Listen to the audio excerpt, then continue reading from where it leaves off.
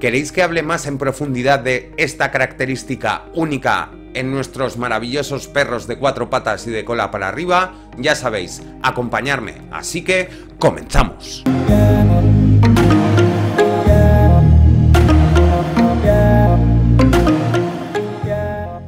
Excluyendo si va a tener flor de lis de máscara, abierta o cerrada, eso, si queréis que hablemos sobre las máscaras del husky siberiano, dejármelo saber en la cajita de comentarios y lo trataremos en otro vídeo.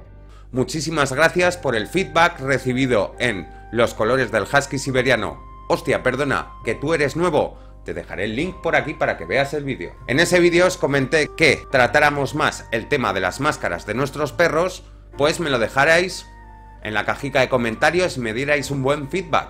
Y como así fue, pues aquí estamos. Las máscaras de nuestros huskies siberianos. ¿Qué nos dice el estándar al respecto? Que nuestros perros pueden tener patrones únicos que no se encuentran en otra raza de perros en la cabeza con colores unidos al manto de nuestros perros y con patrones de múltiples formas. Ya sabéis que en esta línea de vídeos lo hablaré con un lenguaje rápido, comprensible y para toda la familia. Además de que os iré aportando imágenes para que todo lo que voy comentando sea más fácil y lo hagáis, como siempre, a golpe de vista. Bien, para mi forma de entenderlo las podemos dividir en dos grandes grupos, máscaras cerradas y máscaras abiertas. En la mayoría de nuestros perros, a no ser que comentemos mantos como el pinto, el Isabela o el blanco completo, la mayoría de nuestros huskies siberianos, independientemente que el manto de nuestro perro sea de color sólido o diluido, en muchísimas ocasiones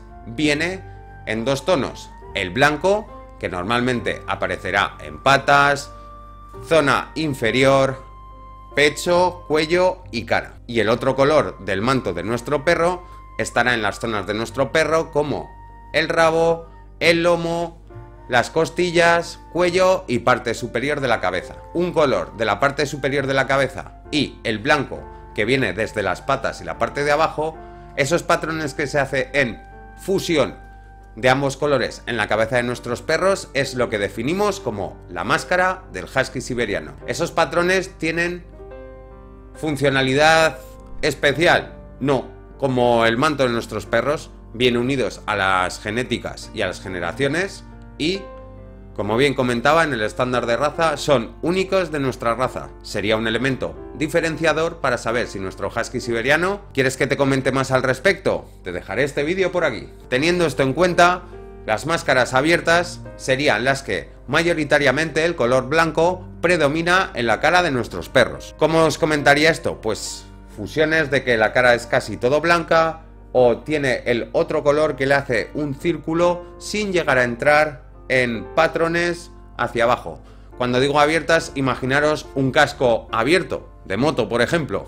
Y las máscaras cerradas, pues sería todo lo contrario, cuando el color principal, por decirlo de alguna manera, en la combinación de los dos colores de nuestro perro, pues se adentrara más en la cara.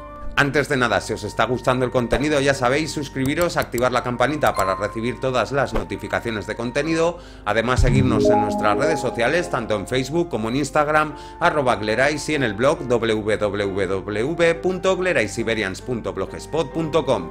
Mil millones de gracias, manada, 2000, casi 100 suscriptores, espectacular, y también, si quieres más asesoramiento y quieres un trato más especializado aparecer en nuestros vídeos o cualquier cosa, ahí un apoyo especial y conseguir elevarte desde el rango beta hasta lo más alto del escalafón de la manada, el rango alfa, échale un vistazo a la función miembros del canal. ¿Qué nos podemos encontrar también en las máscaras cerradas? Un patrón típico de los huskies siberianos, también conocido como la flor de lis, que sería la típica raya que entra desde la frente hasta abajo, bien marcada como si fuera un caminito y los dos puntos en blanco. Esa flor de lis, como en los patrones que os he comentado anteriormente, puede cambiar durante el tiempo, sí. Puede afinarse, puede llegar a desaparecer, pero sería un patrón característico. ¿Dónde podemos encontrar ese tipo de patrón, la flor de lis?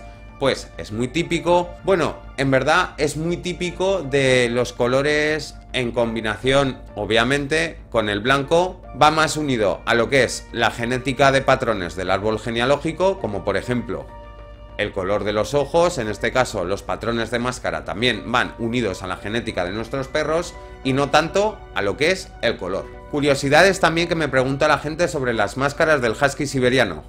¿Pueden cambiar durante el tiempo? Sí. ¿Se presentan nada más nacer en nuestros perros? Sí.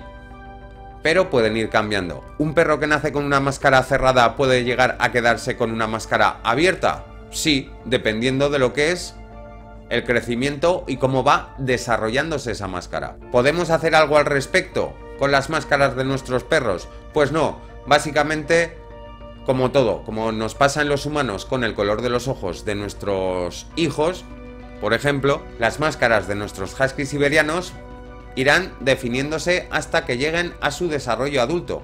Incluso pasando los años, esas máscaras pueden hacer pequeños cambios, afinarse, aparecer nuevos patrones o incluso, en algunos casos, desaparecer. O durante el desarrollo del crecimiento de nuestros perros, pueden aparecer dentro de los dos grupos que he dicho de máscaras abiertas o cerradas, pequeños patrones a mitad del camino muy significativos como por ejemplo las gafas de nuestros huskies siberianos. a la definitiva, durante unos meses que tu perro parece que lleve anteojos y que cuando crezca a los 3-4 meses desaparezcan y que en el nacimiento, obviamente un husky siberiano no te aparecerá con ese patrón de anteojos al nacer. Dicho esto, y como me gusta para la gente que se queda con nosotros hasta el último momento y recapitular, manada, espectacular, rápidamente y sencillamente. Las máscaras del husky siberiano solo aparecen en nuestros perros, van unidos a los colores del manto, las podemos dividir entre abiertas o cerradas.